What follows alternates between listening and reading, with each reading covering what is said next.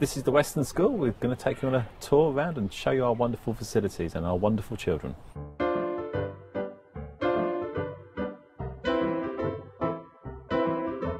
This is um, Simon Cox, who's a Deputy Head Teacher here at Westlands. I'm Jon Whitcombe. I'm Executive Head Teacher of the Westlands Academies Trust, and I've been in that position since the 1st of September this year when we opened up as a, a New Start Academy. Well, there's a short answer more money. We benefit by an extra £700,000.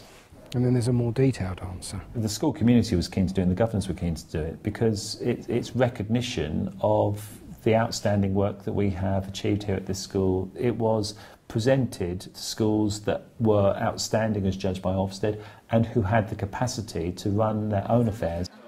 Actually, the school feels the same now as it did prior to us becoming an academy in, in, in September.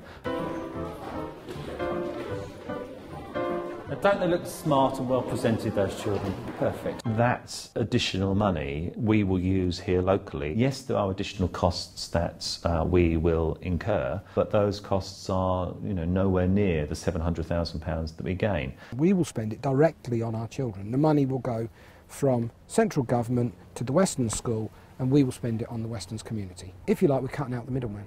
We had a difficult experience last summer with our roofs here at the school, and the local authority quoted 1.25 million pounds to repair the roofs. You know, we as a school put to them, we will see if we can fund it in a different way, sourcing local contractors to do that work as opposed to county or national contractors.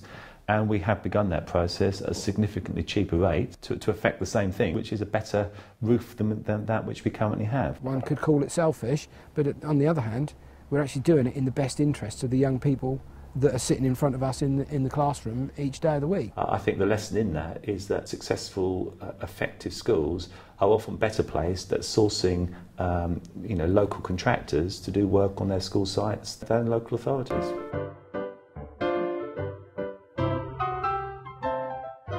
On the evening of the 31st of August, I was at the solicitors until half past ten at night, waiting to sign the commercial transfer agreement between ourselves and Kent County Council to release us from maintained status. This is one of our many letters that we've had from uh, uh, Michael Gove. He has entered into uh, the funding agreement uh, to allow both Westlands and Westlands Primary to convert to uh, academies. And uh, yes, this was the letter we received on the 31st of August. I got a phone call, actually, ironically, from the local authority, from, from a senior local authority officer to say, uh, that's it, Jon, you've passed, I think was the phrase that was used. And uh, I got the news whilst I was running the line at my son's uh, football match. And yeah, it was hard to uh, uh, maintain concentration upon the offside rule whilst um, I'm sort of fidgeting in my pocket to try and get my mobile phone to see whether or not I'm getting an email through from the Secretary of State.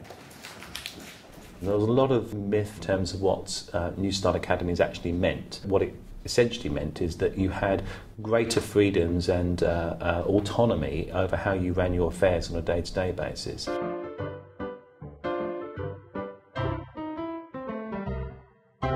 Schools that are New Start academies have a responsibility to be working with schools that aren't, you know, at the, at the same stage of their development in terms of, you know, needing support and guidance.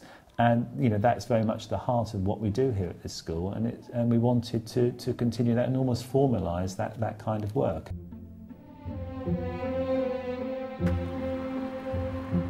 This is Lynn Pearson, head of school here at the Westlands Primary School. I operate as the head teacher at Westlands but also in this curious title, executive head teacher here at the primary school. My role, if anything, becomes almost that of a school improvement partner to, to bounce off, to provide challenge, to, to ask critical questions. This is the Westlands Primary School and we're just going up to look at our reception children and year one children getting ready to go home. It feels exciting. There's a buzz about the school that I think possibly wasn't here before because we're doing something a bit different. They were in challenging circumstances, their results weren't as good as they should have been. It seemed natural that we would work with our largest school, who feeds to us at the age of 11, for the benefit of their, of their children, because we felt that they were our pupils of the future. It was just a natural partnership. It seemed the perfect marriage, if you like. The governing bodies have now merged into an overall governing body. The schools are working very, very closely together. Excellent, well done. My name is Lack McCaw. I'm a maths teacher at Westlands School. We have year sixes from Westlands Primary and they come to us for their English and all their English and their maths lessons every day, five times a week.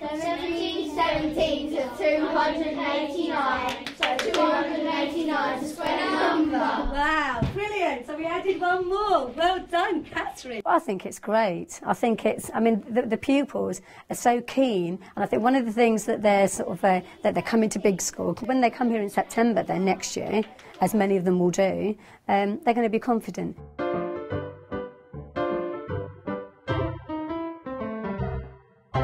I interpret it, it's, it's, the, it's the freedom to continue doing what it is that we have done so successfully over a number of years with additional financial um, resources. We went through quite a detailed consultation process, and I think when teachers and support staff understood that there were going to be no seismic changes in terms of how we operated the school, and that it was very much more of the same, and we were going to continue with the, the same terms and conditions for teachers and support staff. I think they just sort of took it in their, their, their stride. Excellent, brilliant, okay. The aim is not to change things. This school is a successful school. It's got, had an outstanding Ofsted, and that's because of all the people that work in here together and, and make it like that. So why would you want to change that? I knew absolutely nothing at all about companies law and the companies acts and know, I now have an unhealthy knowledge of this. You really do have to work very closely with an effective uh, firm of solicitors to guide you through the process in terms of uh, what you need to do and uh, you know, the hurdles that need to be jumped. The challenges have been really quite uh, um, odd, I guess, and things that we wouldn't necessarily have anticipated. Simple things like changing the bank account, ensuring that uh, payroll details are transferred from one account to another. I must admit, I did have uh, a number of sleepless moments worried that on the 25th of September, staff wouldn't be paid because this account wouldn't talk to this account, and uh, it all seems to have gone pretty well. Now, I dare say there will be some things down the line that do cause us um, concern, um, but I, I, think at the moment um, those challenges are, are few and far between.